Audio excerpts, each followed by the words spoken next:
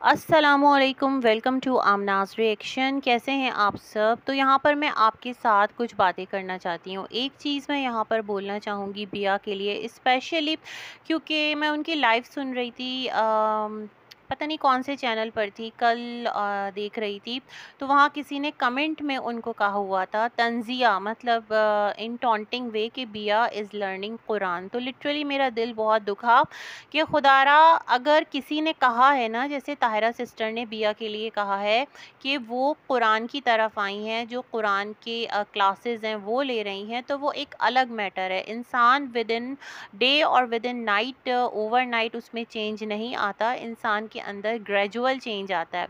अगर उनकी लैंग्वेज कहीं पर कुछ गलत है और स्टिल वो कुछ अपनी लैंग्वेज गलत यूज़ कर रही हैं और अपनी ज़बान पे कंट्रोल नहीं रख पा रही तो इट डजेंट मीन कि उनका जो कुरान से अटैचमेंट है, वो कहीं झूठा है या दिखलावा है। इस तरह की जो कमेंट्स हैं ना टॉन्टिंग कमेंट्स और टॉन्टिंग रिमार्क्स खुदा के लिए मत दीजिए आप लोग, क्योंकि एक इंसान जो है वो अच्छाई की तरफ़ आ रहा है।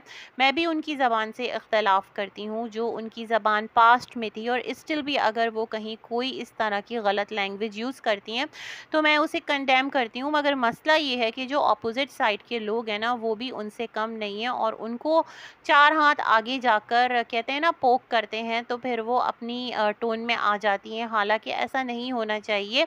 अपनी बात से चीज़ों को क्लियर करें। यूँ गाली गुफ्तार और एक, जो कहते हैं ना, फहश ज़ुबान वो तो आपको कभी भी अप नहीं कर सकती, हमेशा आप ओंधे ही गिरेंगे। तो मैं रिक्वेस्ट करती हूँ, ख्वा, आप किसी भी रिलीजन से हो, इस तरह, इस हवाले को आप टोंट ना बनाएँ। मुझे बहुत दुख हुआ था उस कमेंट को पढ़कर, पहली बात।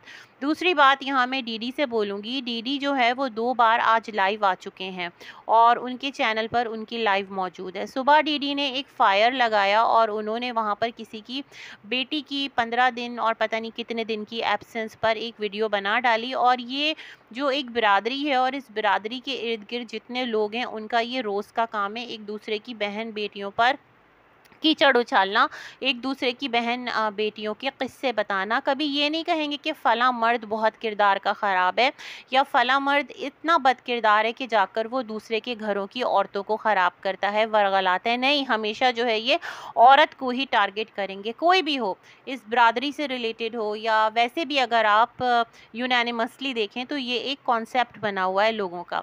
तो मैं यहाँ डी से बोलना चाहूँगी डी आपने जो सुबह काम दिखाया था और फिर आपकी अम्मा की भी एक एक वीडियो आई थी, जिसमें आपने एक मखसूस पर्सनैलिटी को टारगेट किया था तो उस टारगेट के जवाब में सितारा जो है, उनकी बेटी को ट्रोल किया गया और अगेन जो है, सितारा की बच्चियों को निशाना बनाया गया। तो अब आपकी गैरत नहीं जागी, अब आपको नहीं लगा कि आपको मुँह तोड़ देना चाहिए या मुँह तोड़ जवाब देना चाहिए, जिस तरह के आप लोग वीडियोस बनाते हैं। अब आप क्यों सोए रहे? मुझे ये आपकी जो पॉलिसी है, ये समझ नहीं आई।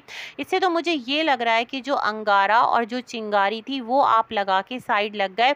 और आपने कहा अब देखो तमाशा अगर मैं बेसकून हूँ अगर मेरे पास से जो व्लॉगिंग के ऑप्शंस हैं, वो हटे हैं। और अगर मेरी व्लॉगिंग पे फ़र्क पड़ा है तो देख लो सितारा एंड साजिद, जो तुम्हारी व्लॉगिंग है, वो भी स्मूद मैं चलने नहीं दूँगा और तुम्हें भी जो है इस तरह की ट्रॉलिंग से कभी भी निजात नहीं मिलेगी। अदरवाइज़ तो आपको बिल्कुल लाइव आकर शटअप कॉल देना चाहिए थी और आपको बोलना चाहिए था, ख़बरदार जो किसी ने मुझे मेरी मासूम जो भतीजियाँ हैं या कज़न्स हैं ना, वो आपकी कज़न्स भी लगती हैं, भतीजियाँ या भांजियाँ भी लगती हैं। तो उनके साथ खुदा ना करे अगर गलत तरीके से रिलेट करने की कोशिश की। लेकिन आप बदस्तूर चुप रहे, आप बदस्तूर खामोश रहे।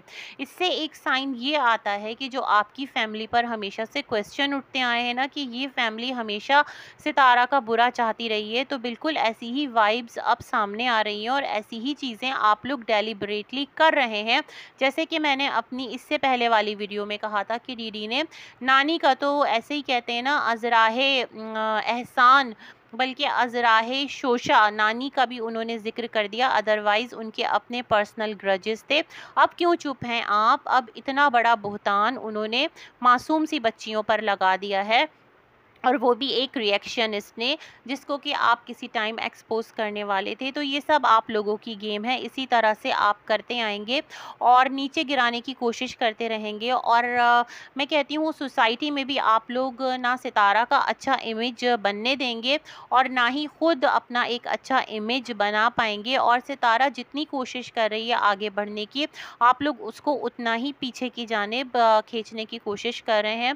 तो लेट्स ही कहाँ तक आप अपनी बुरी कोशिशों में कामयाब होते हैं। लिटरली मुझे बहुत दुख है। मुझे आपसे एटलीस्ट कम अज़ कम कुछ अर्सा पहले तक ऐसी उम्मीद नहीं थी, लेकिन कुछ अरसे से जो आपकी व्लॉगिंग है, जो आपकी वीडियोज़ हैं, जब से सितारा ने इस्लामाबाद मूव किया और उससे भी पहले, थोड़े दिन पहले से ही जो आपकी वीडियोस आना शुरू हुई थी तो कुछ वाइब्स आना स्टार्ट हो गई थी, जो आपकी ऑडियो लीक हुई थी।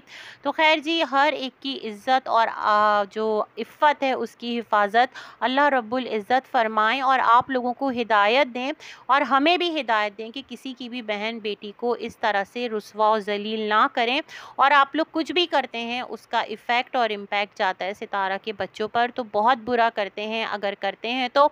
अगर आपको आपको अपनी ज़ात के लिए लड़ना है तो फिर अपनी ज़ात के लिए लड़ें। सात सितारा को ड्रैग ना करें, ना ही आप अपनी नानी अम्मा को ड्रैग करें, क्योंकि आप की वजह से मासूम जो बच्चियाँ हैं, वो ट्रॉल हुई हैं और आपने दो दो लाइव लगा ली और आप बिल्कुल खामोश, बिल्कुल रिलैक्स बस अल्लाह ताला आफ़ियत फ़रमाए, अल्लाह हाफिज़।